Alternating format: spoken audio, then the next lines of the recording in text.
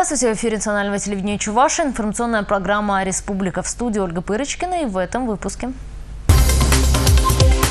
Танцуют все. Финалистка знаменитого российского проекта провела в столице Чувашии мастер-классы. Добро пожаловать! В столице Чуваши обсудили перспективы развития въездного туризма. Надежда Черноморского форпоста. Чувашская делегация в Крыму встретилась с призывниками флота.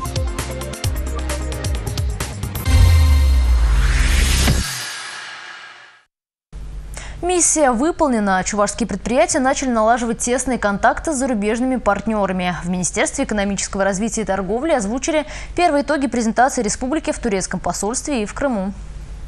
Не прошло и недели, а турецкие предприниматели уже готовы заключать контракты с бизнесменами из Чуваши. К примеру, в одной из зарубежных компаний намерены реализовать крупный проект с чувашским предприятием по производству текстиля. Иностранные партнеры проявили интерес к агропромышленной отрасли. Не исключено, что на территории республики откроются турецкие заводы по переработке молока и фермы по разведению крупного рогатого скота. Две компании из-за рубежа заинтересовались и базальтовыми технологиями для строительства домов, которые производятся в Чебоксарах. Напомню, что презентация чувашских предприятий в посольстве посольстве Турции состоялась на прошлой неделе. Свои возможности потенциальным партнерам представили 8 промышленных организаций и Чувашский государственный университет. Начало сотрудничества положено, но участники встречи уверены, что в ближайшее время будут заключены новые контракты.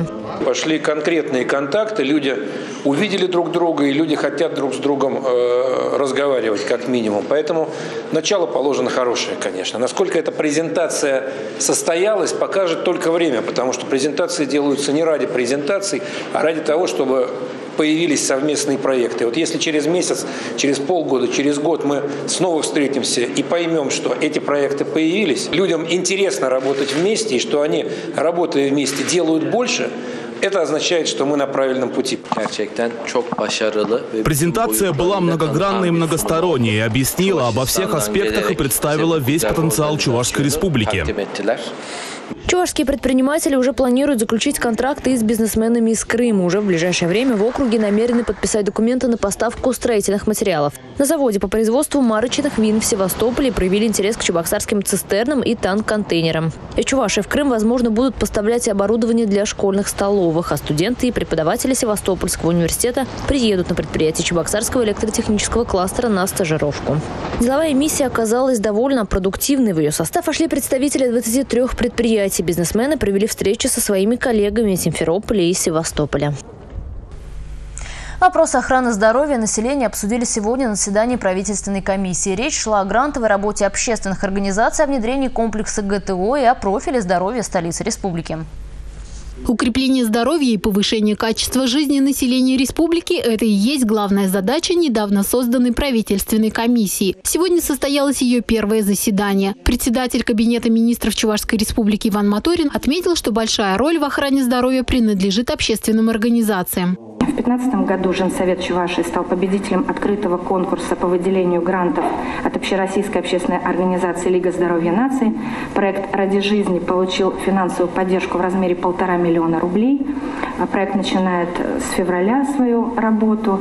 И в рамках проекта планируется организация уже Центра психологической поддержки для онкобольных пациентов в диагностическом центре Республиканского онкодиспансера, где будут организованы зоны лечебной физкультуры, медицинской, психологической реабилитации, предусмотрены выездные дни здоровья в районах и городах Чувашской республики. На совещании был рассмотрен и вопрос сдачи Всероссийского физкультурно-спортивного комплекса «Готов к труду и обороне». С 2015 года Чувашская республика наряду с еще 12 регионами стала пилотной площадкой по внедрению ГТО. Надеемся с 1 сентября уже э, выйти на штатный режим работы по этому направлению. В настоящее время обучаем и специалистов, и э, подобрано уже э, места сдачи во всех муниципалитетах. Прежде всего ФОКи и общеобразовательные учреждения столице республики уже более 10 лет работает в международном проекте «Здоровые города». А почти год назад в Чебоксарах создан координационный совет проекта. Войдя в российскую региональную сеть, столица вплотную занялась здоровьем жителей. У российских городов, которые участвуют в этом проекте, у всех есть свое лицо. У всех есть тот проект, который они развивают, и своя визитная карточка, свой имидж. Ну и, безусловно, здесь для города Чебоксары этот проект стал, э, это занятие спортом на свежем воздухе воздухе. Но у нас и условия залива, сами условия архитектуры города позволяют все это развивать. Ну и, на наш взгляд, нам казалось это совершенно элементарно, уличный тренажер, который у нас в городе устанавливаются, в том числе и во дворах. Но на уровне России мы оказались ярким примером. Особое внимание в Чебоксарах планируют обратить на доступность физкультурно-оздоровительных сооружений для лиц с ограниченными возможностями. Правительственная комиссия продолжит свою работу. Марина Рябцева, Елизавета Зайцева, Сергей Рябчиков, Республика. Пока рос курс доллара, желание и возможность россиян отдохнуть за рубежом пропорционально падали. Спрос на туры в другие страны сократился на 14% по сравнению с 2013 годом. Внутренний поток, наоборот, увеличился на 15%. Как привлечь отдыхающих в наш регион, обсудили на расширенном заседании Межведомственного совета по развитию туризма в Чувашии. В республике более 140 туристических фирм, которые ведут работу по развитию внутреннего въездного и выездного туризма. В 2014 году они обслужили свыше 150 тысяч человек, и это на 5 тысяч человек больше, чем годом ранее. В Чувашии отдохнуло 44 тысячи человек. Все основные показатели отрасли туризма растут, однако один вызывает тревогу. За навигационный период 2014 года речным портом города Чебоксары было принято всего 239 теплоходов теплоходов. Для сравнения, в 2013 году этот показатель составил 313 единиц речного транспорта. Такой резкий спад вызван с изменением географии речных круизов в сторону северо-западного региона, прежде всего, э, в основном в связи э, с низким горизонтом уровня воды в районе Городецкого шлюза. Ну и дороговизна путевок на речные круизы тоже э, сыграла свою, э, свою роль. Для привлечения потока туристов необходимо создавать оригинальные проекты, свойственные нашей территории. Сегодня Министерство культуры работает над концепцией водного такси. Такое поручение дало правительство республики. На сегодняшний день подготовлен проект документа на начало лета запланирован анализ береговой инфраструктуры реки Волга Чувашской республики для организации стоянок речного транспорта. Предполагается создание диспетчерского пункта и запуск механизма работы водного такси на базе имеющегося маломерного флота Чувашской республики.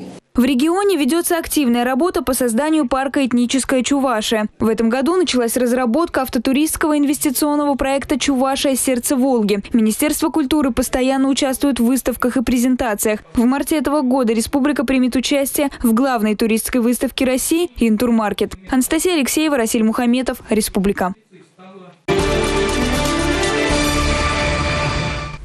Во время рабочего визита в город Севастополь глава республики Михаил Игнатьев встретился с земляками-матросами. На Черноморском флоте сейчас проходят срочную службу более 30 чувашских призывников. Все они морские пехотинцы выполняют задачи на боевых кораблях. С новобранцами Черноморского флота познакомился и мой коллега Дмитрий Ковалев. Черноморский фортпост всегда считался важнейшей стратегической точкой. Город не раз подвергался атакам, но его рубежи оставались под надежной защитой. Жители Севастополя отстояли свои границы и год назад. Когда крымчане решили выйти из состава Украины, военные не допустили переворота. Город вернулся в родную российскую гавань. На Черноморском флоте сейчас служат и чувашские призывники. Матрос Евгений Алексеев был призван сюда 8 месяцев назад. Юноша говорит, что о морской пехоте грезил с юности. И вот теперь его мечта сбылась сбылась. Задачи достаточно разные. В основном все это входит в боевую подготовку. Тактическая подготовка, огневая подготовка, вождение боевых машин в различных условиях местности. Глава республики Михаил Игнатьев встретился с чувашскими призывниками на территории мемориального музейного комплекса 35-я батарея. Именно здесь в годы войны располагались боевые орудия, которые обороняли Черное море, избивали вражеские самолеты. В 43 году, когда боевые запасы были израсходованы, в военно-морском флоте батарею решили уничтожить. К этим помещениям примыкал орудийный блок второй башни. Мы видим с вами только колодец, потому что, э, к сожалению, башни были взорваны в ночь на 2 июля 1942 года. В 60 метрах первая башня, она ближе к морю, и глубина залегания этого коридора 30 метров. Долгое время на этой территории не было ничего, кроме руин. В музейный комплекс она преобразилась благодаря меценатам. 35-ю батарею восстановили в точности именно так, как она выглядела в 40-х. Хотя это было и непросто. Черные копатели разграбили все, что было можно. Черные копатели срезали металл, и вот от входной двери сохранились только дверные петли, а сама дверь была толщиной 150 миллиметров. Сейчас здесь не только проводят экскурсии, но и принимают присягу матросы-новобранцы. Чувашской делегации устроили особый прием. Гостей приветствовали казаки и матросы Черноморского флота.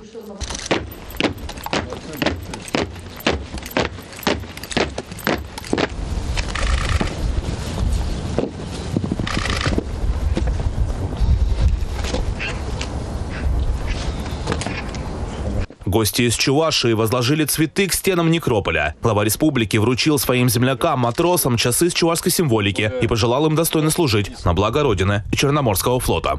Физической, духовной силы у вас хватает, но величие духа у вас всегда должно быть, чтобы вы создали крепкие семьи, и у вас много детей в семьях появилось. Но некоторые ребята признаются, что хотят вернуться на Черное море снова, уже на контрактную службу. Дмитрий Ковалев и Андрей Шоклев, Республика, из города Севастополя.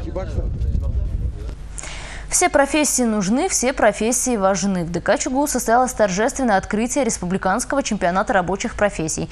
За право быть лучшими будут бороться 50 студентов и молодых рабочих со всей Чувашии. Победители регионального чемпионата поедут в Самару на чемпионат Приволжского федерального округа.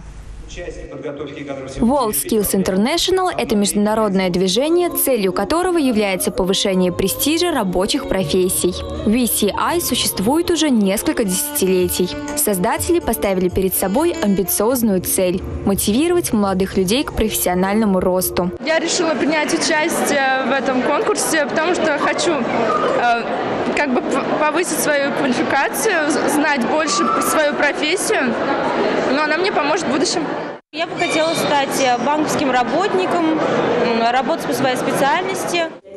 Лучше всего это делать посредством соревнований. Поэтому ассоциация остановилась на организации конкурсов профессионального мастерства. Региональный этап чемпионата проходит в нашей республике не первый год. За это время вырос интерес не только к чемпионату, но и к самим рабочим специальностям. Очень важно не только поднять престиж профессии, а еще показать уровень, планку профессии, на которую сегодня наши ребята могут выйти. Сегодня трудно представить вообще э, нашу жизнь без рабочей профессии. И исходя из этого, нам нужно сказать, что ребята рабочие профессии нужны, они сегодня востребованы. Победителей будут выбирать в девяти направлениях. Наша съемочная группа всю неделю будет следить за ходом соревнований. Дарина Игнатьева, Александр Петров, Республика. Хорошие манеры, достойное поведение и умение танцевать. Вот что объединило юных кавалеров и дам на настоящем балу доблести, чести и славы. В художественном музее на Георгиевский бал собрались ученики средних и старших классов города Чебоксары. В память о героях Отечества главным символом вечера стала Георгиевская ленточка. Девушки в элегантных платьях, юноши в костюмах на время окунулись в эпоху прошлого века.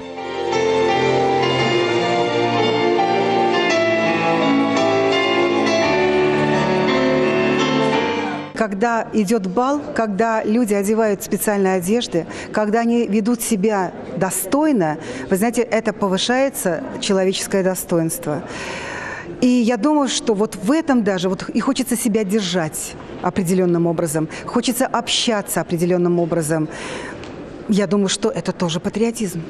Пары кружились в вальсе, исполняли польку, мазурку и кадриль. Атмосфера старинного бала, где порой случаются признания в любви, где юноши делают комплименты своим дамам. Такое почти не встречается в современной жизни. Для Елены Полутовой посещение балов уже стало традицией. Я хожу на балы уже четвертый год, и на каждом балу открываю что-то новое. Это новые знакомства, новые друзья.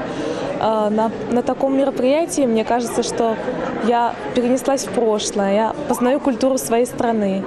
Мне кажется, что я в 19 веке. Я очень люблю петь и танцевать, поэтому эти балы для меня очень важны. Мои друзья с удовольствием ходят. Я учусь в социально-экономическом классе, учу историю, поэтому я могу считать себя патриотом.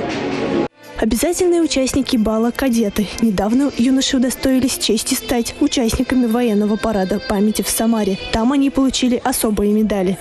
Быть на этом Георгиевском балу – большая честь, э, потому что э, нужно быть э, не только кадетом, нужно быть еще как простой человек. Я хочу служить стране, приносить пользу ей, чтобы она процветала, чтобы не было невзгод никаких. Традиции Георгиевского бала нерушимы. Историю нельзя переписать. А это значит, что чувство патриотизма, любви к родине – вневременные понятия. Анастасия Алангина, Андрей Спиридонов, Республика. И...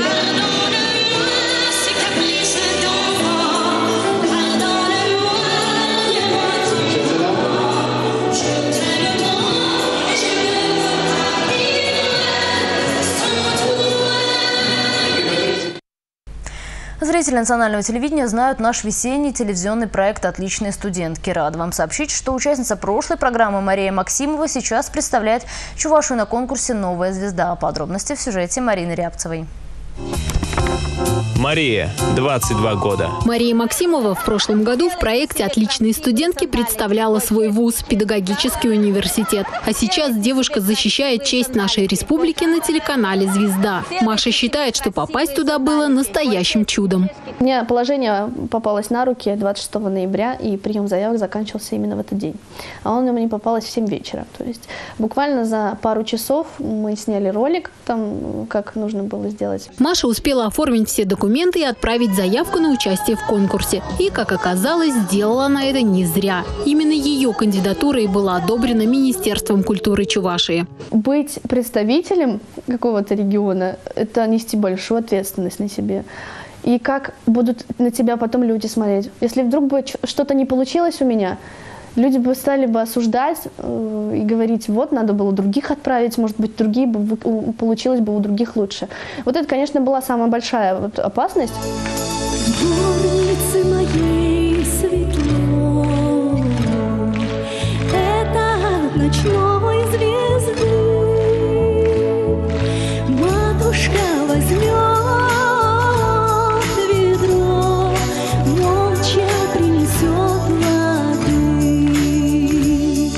Маша не подвела. Девушке удалось выйти во второй тур в проекте «Новая звезда». И проходит во второй тур Маша Максимова.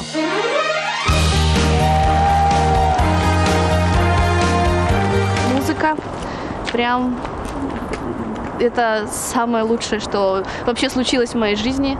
И что я попала на, именно на конкурс «Новая звезда», это просто удача, это большая удача и большая возможность мне, как вокалисту, и вообще другим людям, которые тоже вроде пытаются, вроде хотят участвовать. Но это э, я своим, так скажем, примером показываю, что не надо бояться, нужно идти, нужно стремиться к этому. Марина Рябцева, Сергей Рябчиков, Республика.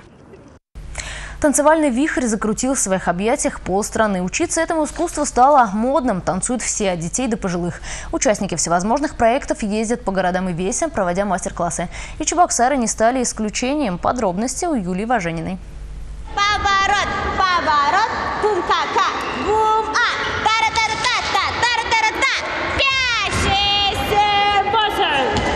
Джаз-фанк, воук и контемпорари. Именно эти направления решили освоить чебоксарцы. Преподать урок по самым современным танцевальным стилям в столицу Чувашии приехала финалистка проекта «Танцы» Алиса Доценко. Кстати, эти направления чебоксарцы выбрали сами, и по мнению хореографа, это самые сложные стили. В contemporary много тонкостей, которыми нужно владеть элементарно, да, владение классикой, вращение, прыжки, без которых хореография смотрится не так насыщенно. А в воге много техники и много именно теорий, которые нужно знать. Dancehall проще, я думаю, потому что он более свободный стиль, а джаз-фанк – это просто стиль, чтобы покайфовать, потанцевать, получить удовольствие. Удовольствие чебоксарские танцоры, несомненно, получили. На занятия пришли около 200 участников. Полный ажиотаж. Многие говорят, что сбылась их давняя мечта. Все супер, очень понравилось, очень здорово. Алиса прекрасный танцор. Хочется что-то перенять, что-то новое для себя открыть. В общем, все здорово, очень нравится. Потрясающе, столько эмоций. Я очень рада, что она приехала. Я давно ее ждала, прям с самого начала танцев. И меня куча эмоций. Алиса универсальный танцор, она знает много стилей, у нее отличная техника, да, и к тому же она просто хороший человек. Очень хочу, чтобы чебоксары выходили на новый уровень и понимали, что такое джаз-фанк, что такое вок, что такое контемпорари. Что касается самой Алисы, то чебоксарскими танцорами она осталась довольна, как и мастер-классом в целом. Ой, классно, классно, классно. Ну, на самом деле, очень подслушивайте. Потом вы смотрите. Очень много людей, от этого сразу энергетика такая классная. Они такие все стоят, смотрят. Так классно, классно. Ну, круто, круто, мне очень понравилось. И, кстати говоря, станцевали. Станцевали очень хорошо. Очень важно просто, чтобы а, танцоры в городе хотели того, чтобы мы приезжали, чтобы мы их чему-то учили. А когда ты заходишь в зал, и тебя встречают 180 пар глаз, которые действительно, ну, ждут, ждут, когда ты залезешь на эту сцену, начнешь им что-то показывать, рассказывать, конечно, это очень круто, поэтому я думаю, что в больших городах такое редко бывает. Меня очень радует, что они а, стремятся вот, сделать все так, как нужно, они стараются, вот даже если сейчас посмотреть назад, они отрабатывают хореографию, которую я им только что дала. Вот. Это круто. А, чего пожелать? Пускай развиваются, пускай ходят на классы, пускай смотрят видосы. Вот. И я считаю, что начать танцевать не поздно никогда, а научиться чему-то большему в силах вообще любому танцору. Планы на ближайшее будущее большие. Преподавание в собственной школе, мастер-классы и большой тур по городам России вместе с участниками проекта «Танцы».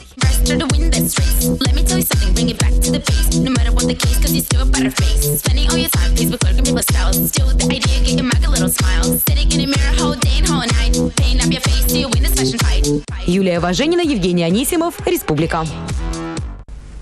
Таким стал вторник, 3 марта, глазами корреспондентов национального телевидения Чувашии. До свидания.